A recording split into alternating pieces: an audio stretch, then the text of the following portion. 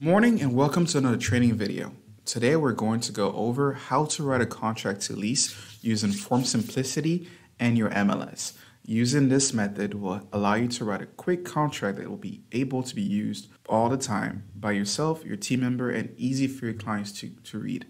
We here use Form Simplicity to make it a lot easier to send e-sign documentations to your clients. Now, the steps that I'm giving to write the contracts will be the same no matter which company you're using and which type of contract you're writing. Dotloop, uh, SkySlope, whichever contract form that you want to that you want to use personally will be the same steps as long as you're writing a proper contract as in the state of Florida requires. So first you want to start off by putting in your, your street address, whatever address that you're using for that contract has to be written. So in this case, I'm using 123 Main Street. With 123 Main Street allows me to go about finding exactly, so I know exactly what transaction I'm doing and what I'm looking into. Um, I will go ahead and put the transaction name as same as address, property type select as residential, or if you're doing commercial, farm ranch, or vacant land, there's also different forms that you can use for these type. In transaction type, I will go ahead and put lease slash rental. And I go ahead and create a new transaction. Now, when creating a new transaction, if you already have the MLS open, you can go ahead and input the MLS number of that transaction right here so that you can go ahead and import all the information. If you do not have it, you'll go ahead and do that manually so you can store the data for later. So I'll say that I'm renting for $1,234. That's the list price, and we're offering exact list price again. Boom. Now you will select the add blank forms. If you're if you have form packages pre-selected or pre-created for yourself, you can go ahead and select the second one, it'll help you go through these faster. I do recommend making your pre uh, pre-filled packages so that you know where to go to next time. So whatever contracts you types of contracts you write in the future that you write consistently, create form packages that will allow you to get through the steps a lot faster. You want to select all libraries. And I like to use the search form instead of going through the list. I'll type in contract.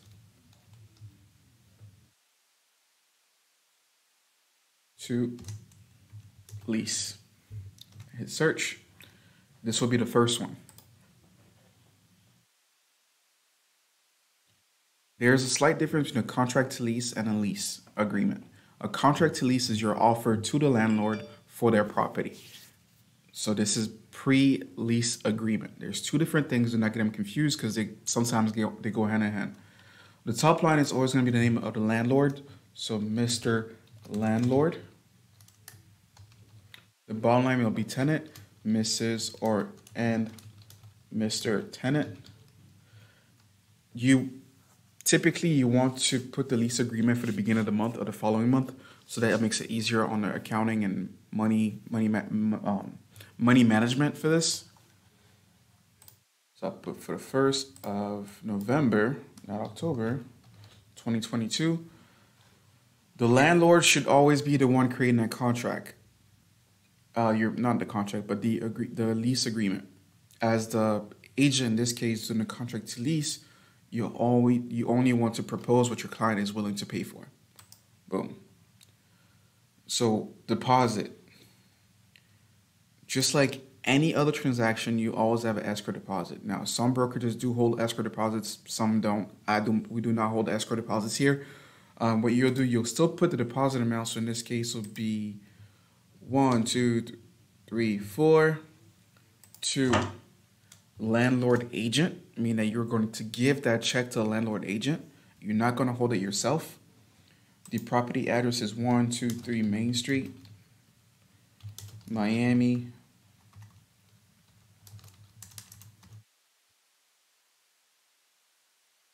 Florida.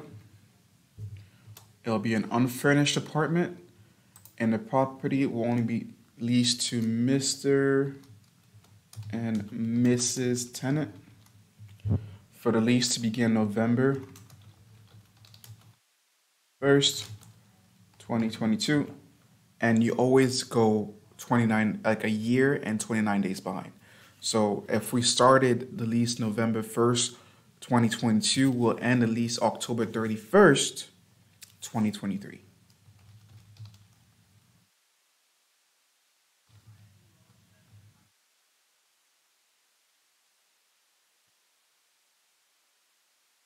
So now, the cool thing about form simplicity is that this portion right here fills in by itself. You don't have to do it twice. It just happens to do it for you.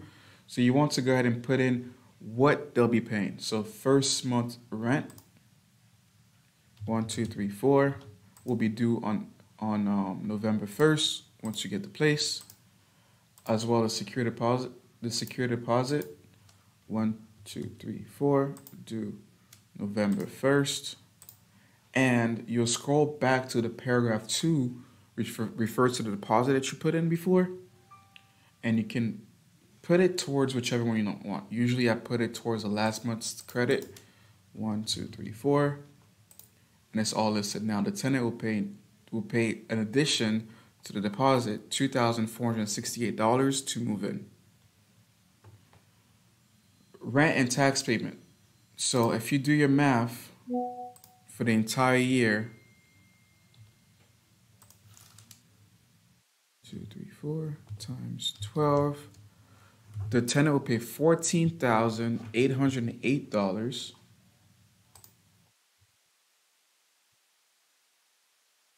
in total rent.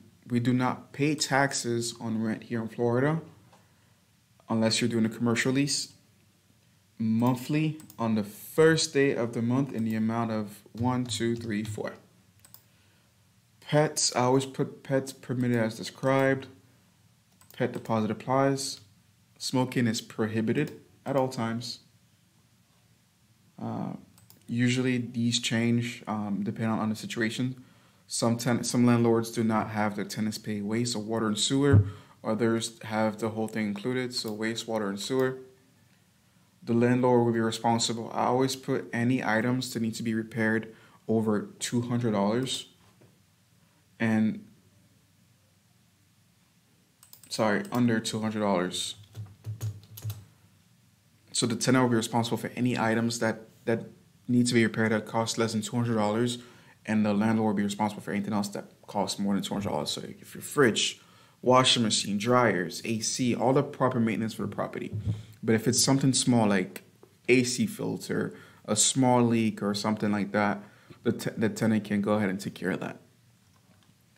Um, if there's an associ- association approval, usually the tenant will pay the fee that it, that is asked. So it's usually around hundred dollars, and that approval date must be done before the first of November, so before they move in. If there's any additional terms that you'd like to provide, as in like you know, would like to repaint, remodel a few things, you'll put that there. But you have to make sure that your landlord has this reviewed by an attorney because this additional term section here would be an amendment to the contract. Um, all the rest is just tells you that, you know, the, the landlord is allowed to do a background check, determines a credit or reference do not determine.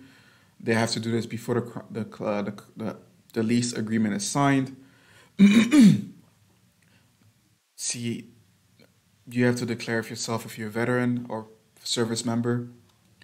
Uh, if the tenant fails to perform purpose of the contract, the deposit paid by tenant may be retained by a landlord for the account of landlord as agreed upon liquidated damages compensation at this in execution of this contract in full settlement. So this only applies if the contract is accepted and you move on to a lease agreement. And the lease agreement, we'll go over it next, has a few parts that are more difficult, no more um, tedious.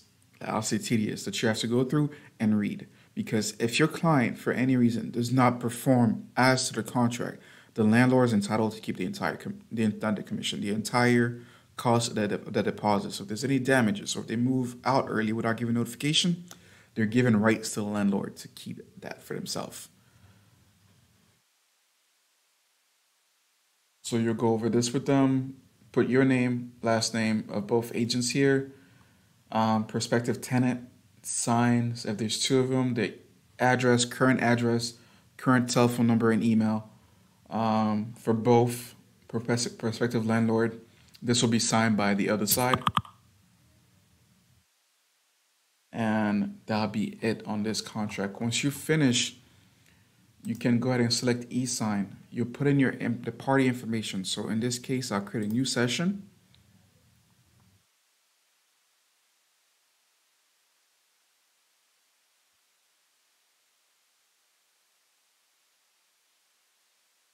So e-sign, create e-sign 2.0.